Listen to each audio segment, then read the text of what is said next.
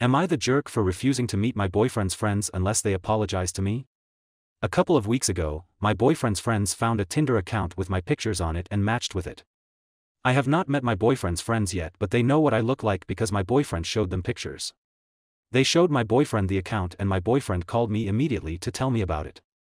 I haven't used Tinder in over a year and Tinder is supposed to delete inactive accounts after 7 days, so I knew it wasn't mine.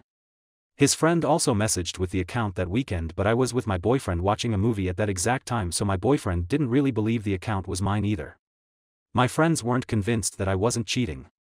I could hear them yelling things through the phone like, make that B-word prove herself. Your girlfriend is an immoral woman, along with other really degrading names. My boyfriend told them to shut up as I was on the verge of tears. I went on FaceTime with all of them while the friend messaged the account. They made me show my hands and my phone on the video call the whole time. The catfisher messaged back and I was proven innocent.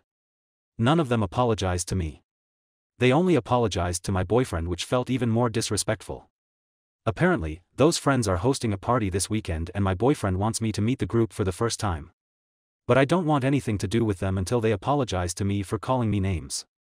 My boyfriend understands but also says that it would mean a lot if I could at least give his friends another chance since they were actually just doing their best to support him since he has been cheated on in the past. Would I be the jerk if I refused?